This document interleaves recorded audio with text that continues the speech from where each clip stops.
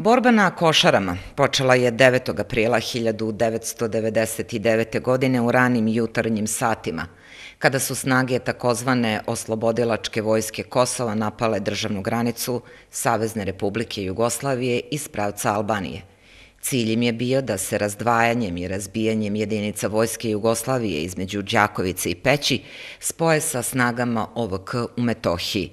Da je neprijatelj uspeo da prodre na Košarama, sudbina našeg naroda i vojske 1999. godine bila bi sasvim drugačija.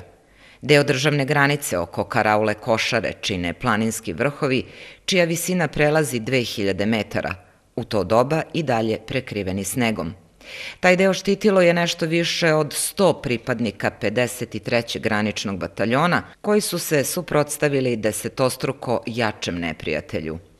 Ajde da se vratimo na taj prvi dan, 9. april, taj čuveni veliki petak na krvavi uskrs. Kako je sve počelo?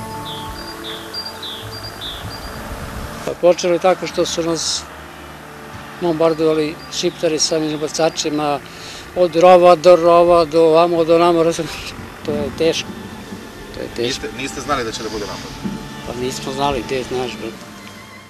Na pravoslavni Veliki petak te 1999. godine u tri sata ujutru počeo je lažni napad sa albanske strane u pravcu Karaule Morina, kako bi se interventne jedinice Vojske Jugoslavije odvukle u tom pravcu, da bi se oko 4 sata i 30 minuta ta vatra prenela na Karaulu Košare uz masovni napad pešadije terorističke oslobodilačke vojske Kosova – Svega 200 vojnika Vojske Jugoslavije na redovnom odsluženju vojnog roka starih 19 i 20 godina branilo je položaj od napada 2000 terorista takozvane oslobodilačke vojske Kosova i regularne vojske Albanije.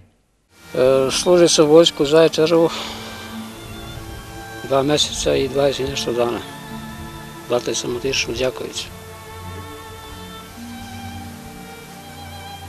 Prespavao sam noć, i sve je počelo pakao. Tišao sam u kravlo košare,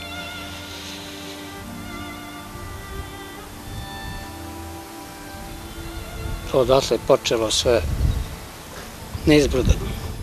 Naša vojska odolevala je napadima sve do 14. juna 1999. godine, kada se Vojska Jugoslavije na osnovu Kumanovskog sporazuma sa snagama KFOR-a povukla sa Košara. NATO je ušao na Kosovo pod imenom KFOR kao mirovna snaga, dok je takozvana OVK, bar formalno, razoružana. Odbrana Košara sprečila je kopnenu invaziju na Srbiju. Poginulo je 108 srpskih vojnika, od kojih 18 oficira i podoficira, 50 redovnih vojnika, 13 rezervista i 24 dobrovoljca. Najveći deo srpskih snaga na košarama činili su vojnici na redovnom odsluženju vojnog roka, stari svega 19 i 20 godina. Među njima bio je i naš sugrađanin Dragan Topalović Gagi. Pa eto, jednostavno, bili smo tu, branili smo srpstvo, branili smo ljude koji su bili za nas.